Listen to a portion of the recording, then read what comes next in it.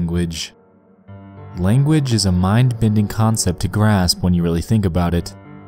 Just the mere thought of how large the barrier of communication can be between you and another person just like you is astonishing.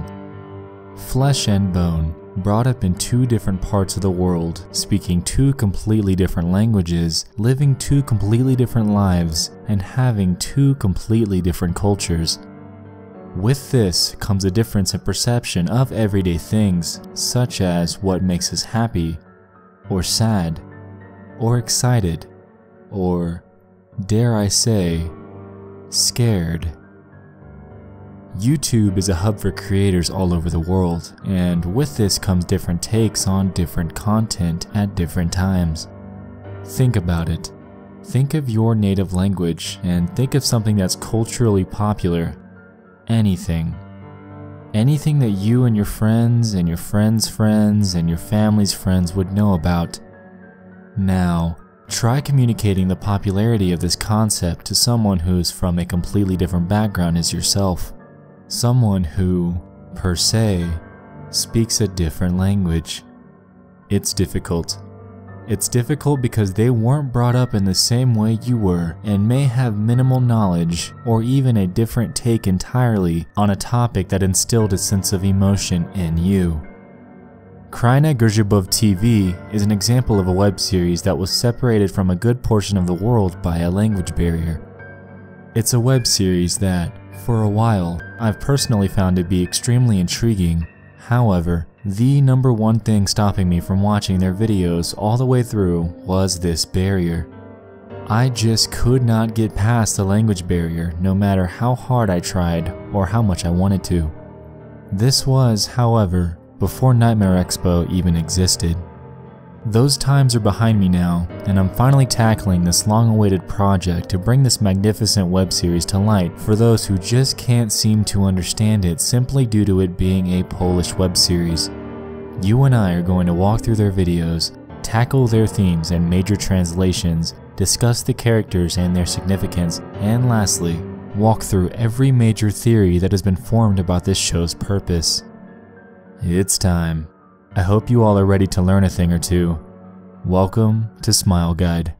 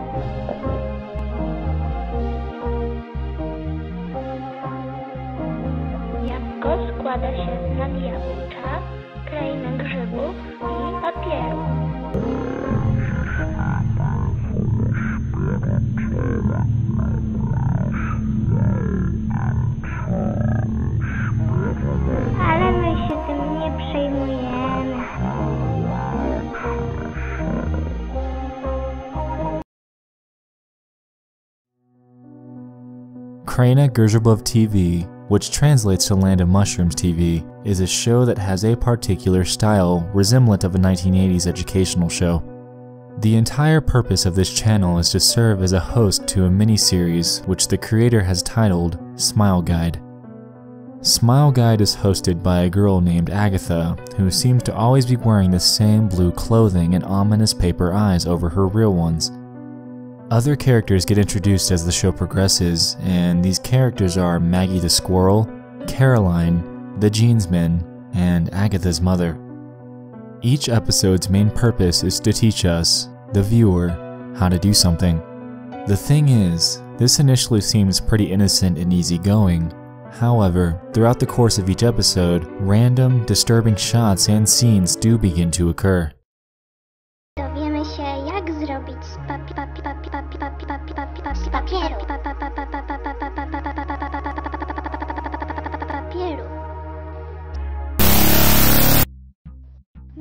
Potrzebować papieru, papieru, papieru, papieru, papieru, papieru, Generally, after this, each episode begins to disintegrate further and further until we're watching a distorted mess that, at the surface, appears to make absolutely no sense at all.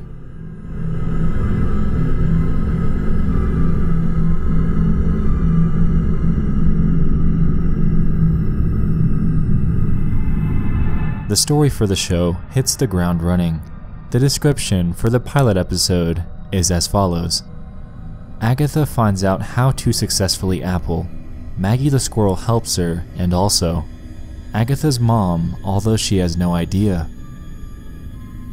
Now, in the first episode, like we stated before, we can see a fuzzy, 1980s reminiscent video that appears to be a children's educational show.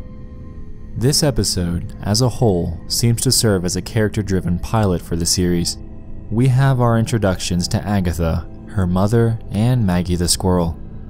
The premise of this episode is to teach us how to apple, whereas the title in itself makes no sense. However, once we dive into it, we can start to piece together what exactly this means. Innocently, Agatha is attempting to show us how to apple, and this appears to be nothing more than coring the apple itself. She begins this process, however, after doing this for a short while, the video cuts to a strange interview of a dark faceless lady, whom we can presume from the dialogue and through the description that this is her mother.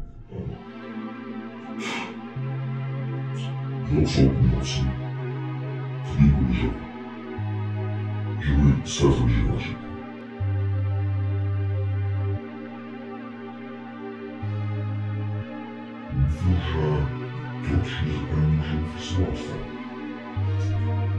No tylko z jest już powiedzmy gorzej.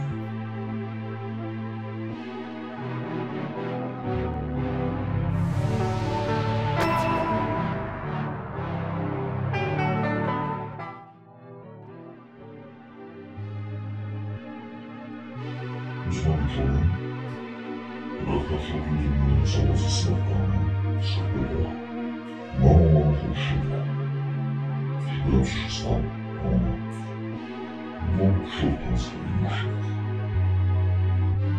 one can predict the future.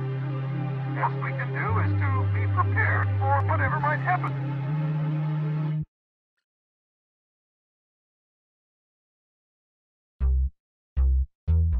These interviews are actually a very key part to the series as they happen in nearly every episode of Smile Guide. I want to point out a couple of notable themes to remember going forward. One being, of course, of mushrooms. A second theme that I want you to remember is the uterus that we were shown, and lastly, the apple. We're going to dive into our theories on these later.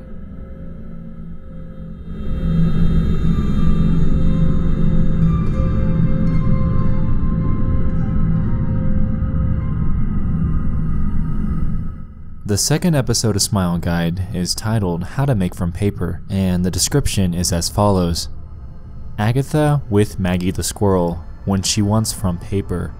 Fortunately, Cow, Agatha's mom, is troubled in current situation.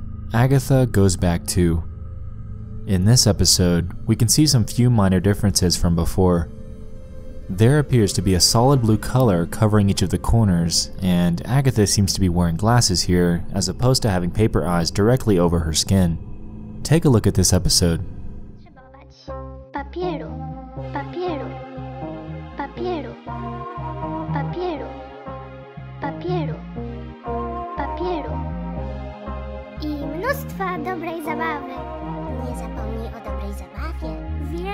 Спадай, Сандауни. Самый быстрый.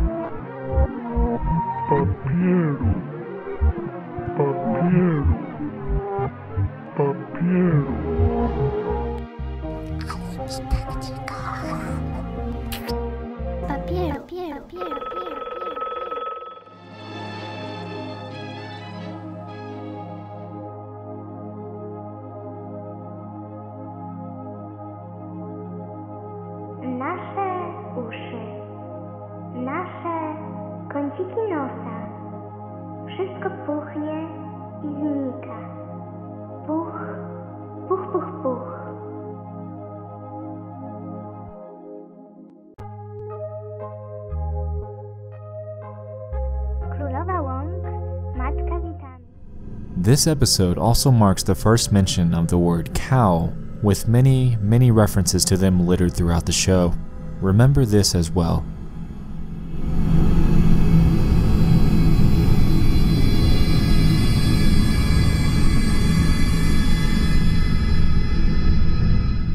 Smile Guide 3 seems to be different from the rest of the series in the sense that it's the only episode that has only a trailer and no actual episode.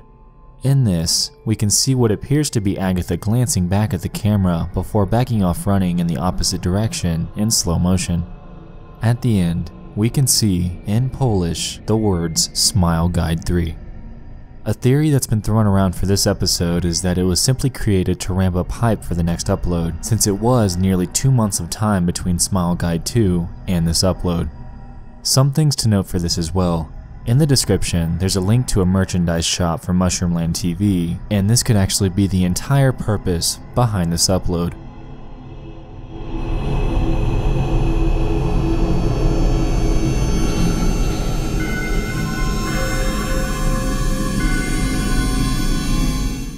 After a long hiatus between the trailer for Smile Guide 3 and Smile Guide 4, the upload titled How to Your Hair was uploaded. The description for this video reads, Absence Agatha decides male. Unfortunately, her hair. Sudden mysterious with help. Now, not much from this episode is all that different from the previous ones. The premise of this story begins with her mother telling the camera that Agatha wasn't herself and that she didn't recognize her.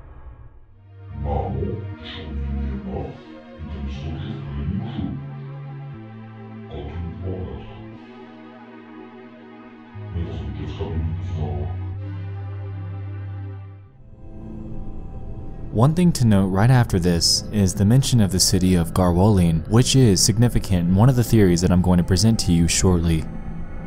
After this small segment, we can see Agatha cutting her hair off while opening fan mail. During this, she's interrupted by the characters Carolina and the Jeansmen as they appear to torment her and make her act erratically, shaking uncontrollably and laughing in a very mysterious tone. Near the end of this episode, the Jeansmen and Carolina disappear and Agatha appears confused. Distortions begin to occur after this and Agatha appears to go bald. To close, she wakes up from a dead sleep, which is another point to remember for this video, before noticing that her foreboding mother is sitting right next to her. Mama? Mama?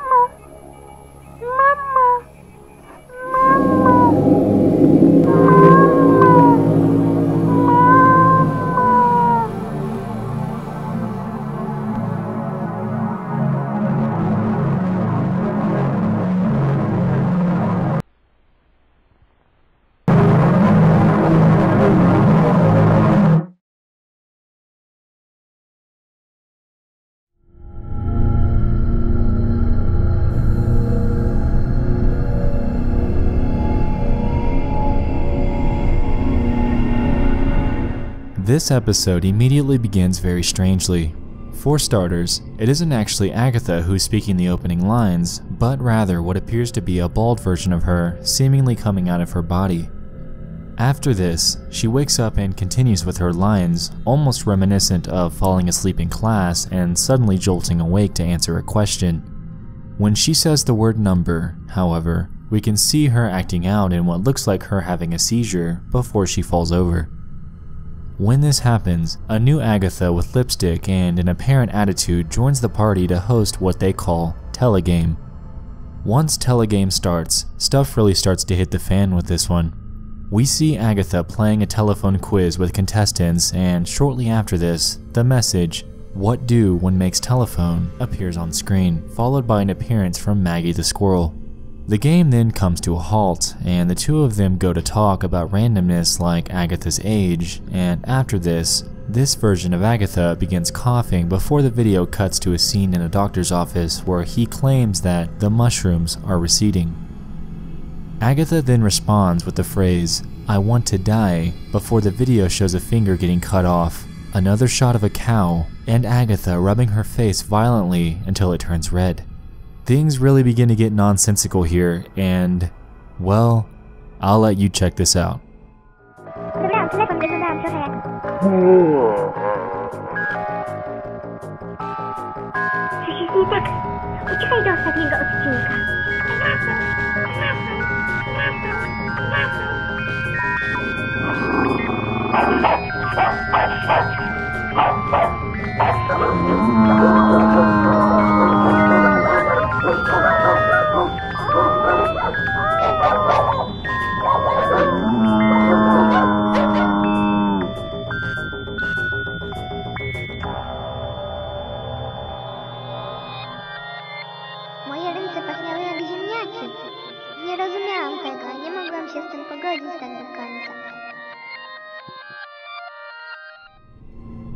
So, recapping on what I've previously told you to note, we have major themes of mushrooms, the uterus, the apple, the cow, and the city of Garwolin.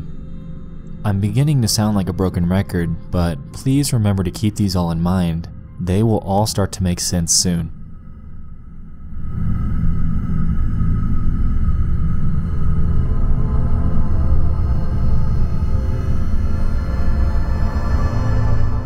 In this last episode of Smile Guide, we're being taught how your child through a mini segment titled World and Kids. From the start, we can see that Agatha is accompanied by a small doll, whom we can immediately assume is her theoretical child for this installment. I'll let you check out what happens before we dig into it. Dlaczego się nie zachowujesz, młoda damo? Chcesz być jak ta Justynka?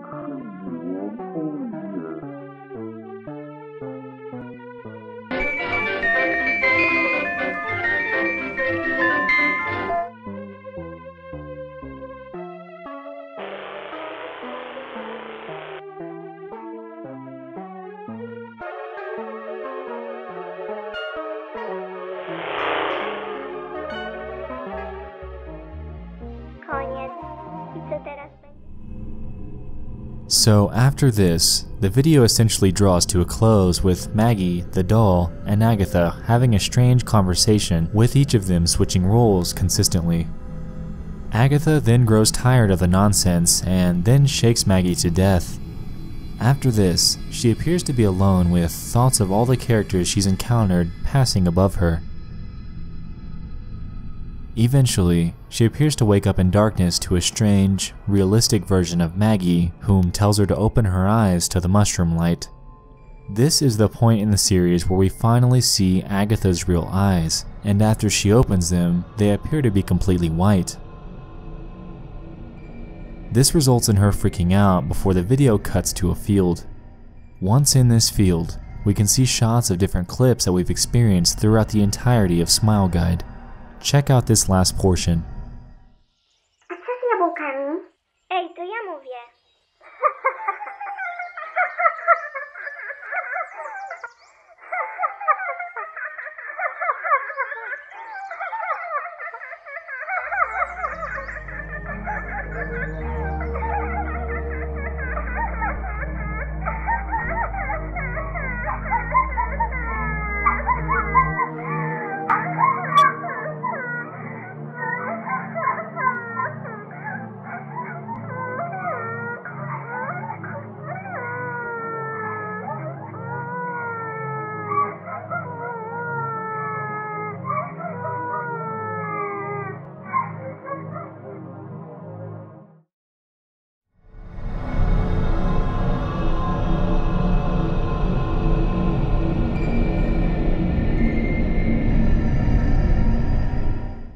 In this very last episode, that serves as sort of a swan song to the series, we can see Agatha in a field. This is, however, a real field, not the strange, distorted version that we've seen previously. This marks the first and last sense of actual normalcy in this entire series, and while here, she references her mother who, allegedly, spooned out her eyes. I'll just leave a portion of this ending here for you.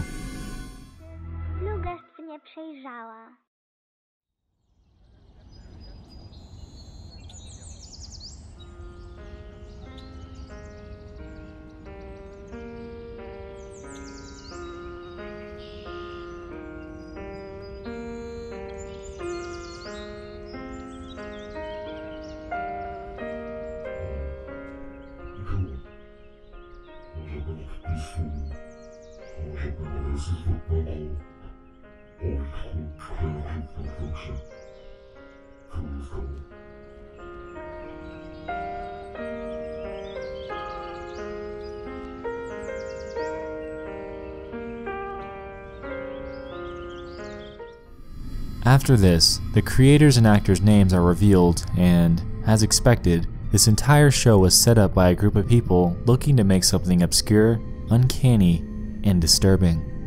This doesn't take away from the show at all, and honestly and personally, this made a fan of this creator out of me. Anyway, I digress. Back to the actual show itself. What in the world does this all mean? How does the connection with Agatha and the other characters we encounter make any definitive sense at all? There are a multitude of theories surrounding this entire series. One of the most popular ones is called the drug theory. This is based off of one massive theme that we encounter throughout the show mushrooms. Mushrooms are a very potent hallucinogen, and essentially, this theory states that the entire show doesn't actually have a central plot at all. Also, the entire premise of this show and Maggie's experiences are caused solely by these mushrooms. This theory is mainly supported by the fact that, for one, the show refers to magic mushrooms multiple times. When these are consumed, users typically experience a psychedelic trip that leaves them seeing and hearing crazy and outlandish things. It's been theorized that Maggie herself could simply be a hallucination that has the ability to interact with Agatha.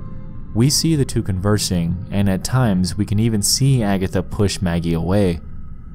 Another point that supports this theory is the fact that, at multiple points, we can see Agatha sleeping, and one notable example of this is at the beginning of Smile Guide 5. Other signs that Agatha is under the influence of mushrooms include the idea that the entire purpose of the peepers over her eyes is to hide her dilated pupils. Dilated pupils, if you don't know, is a side effect of taking the drug. Also, we can see from Smile Guide 1 that Maggie tells Agatha, You're full of mushrooms, and jumping forward to Smile Guide 5, the doctor tells her the mushrooms are finally receding. These points in themselves relate directly to the potency of the effects in their respective times for Agatha. At various parts of the show, she could be experiencing a harsher trip than others, and this dialogue ultimately supports this claim entirely. Another very popular assumption surrounding this show is the nuclear war theory. This essentially is the idea that the entire premise of the show is all about war. This is supported in multiple ways. For beginners, if you take a look at the Kraina Grzybow TV store, you can see one shirt with Maggie the squirrel on it. Right below her, however, is one tiny detail that says, since 1988. This in itself helps cement the idea that the show's timeline is in the late 1980s, and the significance of this all lies with the Cold War. In 1988, Poland was under the control of the Soviet Union, and jeans were a very controversial item to have. They were viewed as owning an item that did not share ownership with the government. The Soviets really didn't like this, and so there was a widespread ban on jeans. As a result of this, jeans became a sign of freedom for everyone, and wearing them was anti government or anti Soviet. As a corollary to this, the significance of the jeansman rises considerably. We often see him and Carolina appearing to torment Agatha while decked out, head to toe, in denim material. Now think about this. Could the jeansman and Carolina be signs of freedom for Agatha? Could they actually be the good guys who aren't really tormenting her? It's all up to speculation. Another point that I want to make in regards to this theory is the obvious nuclear bomb schematic in Smile Guide 1. At one point, we can see Agatha giving us a schematic of an apple. However, it's been widely determined that this diagram is actually of an atomic bomb. Plus, Think about it. Mushroom Land TV. Mushroom. Clouds. Resulting from atomic bombs. It all ties together in a very convincing way. Lastly, with this theory, in Smile Guide 3, we see the city of Garwolin on a map. Why is this significant? Well, this was one of the major Polish cities that was damaged in World War II. While they are in different timelines and are nearly 40 years apart, this ultimately could represent some connection to war entirely. Yet another assumption that's gained traction is the rape and abuse theory. Remember the mention of the cow from earlier and her coring the apple in the manner that she did? Well, a theory surrounding this is that Agatha was potentially called a cow in her childhood. This is supported by her mother claiming that Agatha was always a wallflower with her friends, and that she was more of a loner than anything. Jumping over to the apple scene, we can see her violently coring the apple, which could entirely signify her own rape. At one point, we can see a cow with the word mama, which could either signify her mother and how Agatha views her, or actually how she herself was tormented and called a cow, eventually becoming a mother after her rape.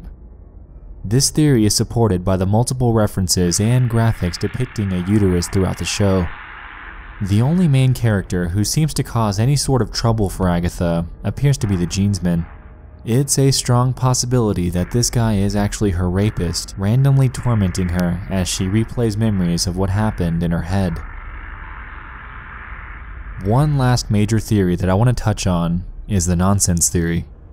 This simply states that this entire show is based on nothing at all, and the creator made it simply to get the viewer to make their own conclusions on it. Now, honestly and truly after all of this, I personally believe that this show is a mixture of all of these and that the creator did this on purpose. He wanted us to make multiple opinions on it, and as a result, he threw in evidence to support every major theme that we've discussed. We have the obvious, like the atomic bomb diagram and the subtle correlations between mushrooms and mushroom clouds. We have the not so obvious, like the mother claiming that Agatha was always a wallflower, and the word mama with the scene of the cow. And lastly, we have the safe and easy route for the audience to make the immediate mushroom connection with drugs themselves, assuming that the entire show is depicting nothing more than a bad trip. The beauty of Mushroomland and its theories is that it truly is all of them. Kraina Grzybow TV is a historical YouTube gem. This series will be remembered for years and years to come as the show that tormented each of its viewers in a very unique and captivating way. Agatha and Maggie initially appear to be charming and lovable characters, and to be quite honest, even after seeing them lash out in the weirdest way possible, I still do think of them in a lovable light. Either that's how you see it too, or maybe, just maybe, I'm crazy. Anyway, I digress. Go over, check out this amazing show, and fish out portions that you think could link to a new theory entirely. If you come up with one, please do leave it in the comments below. Remember though, everything is in Polish, and for the average viewer, it just might make it that much harder and that much creepier for you. Thanks to all of you for watching my explanation of Kraina Grzybow TV. I hope you all enjoyed this ride as much as I did. Keep suggesting content to me, and I'll be looking into them in the near, near future. Here pretty soon, I may be going on a brief hiatus due to life responsibilities getting in the way. However, after this, I will be back in full force, ready to cover content that's creepier than ever. While I'm gone, feel free to check out all 30 of my other videos that I've left here on Any for you guys. Trust me, you won't want to miss them. Anyway, once again, thank you so much for watching. I'll see you soon. I love you all. And as always, good night.